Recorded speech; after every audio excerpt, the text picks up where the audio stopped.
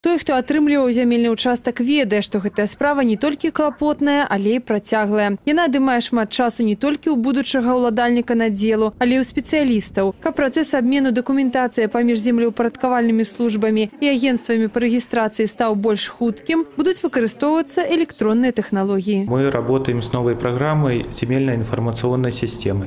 Эта программа позволяет в электронном виде оформлять э, ряд документов, в том числе э, те документы, которые необходимы землепользователям для получения земельных участков. Фактически, не выходя из кабинета, мы сможем зачастую э, в актуальном виде понять, что на сегодняшний день происходит с земельным участком.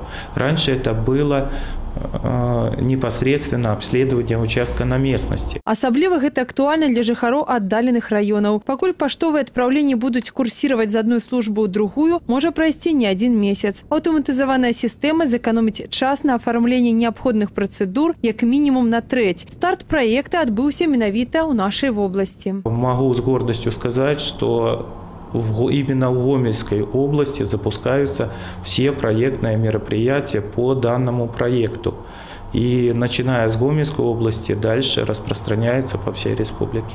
Для таго, каб працаваць па-новаму можна было паўнавартасна, патрэбны час і грунтоўная работа сотняў спецыялістаў. Яны будуць напаўняць праграму звесткамі аб кожным зямельным участку, суправаджаць іх электроннымі картамі і нават указваць усю тую інфармацыю, якую раней не фіксавалі наогул. Як паўжартам кажуць у землеўпарадкавальнай службе, год навукі павінен знайсці сваё адлюстраванне і ў іх працы. Марына Джалая, Валерый Гапанько, тэлерадыокампанія Гомель.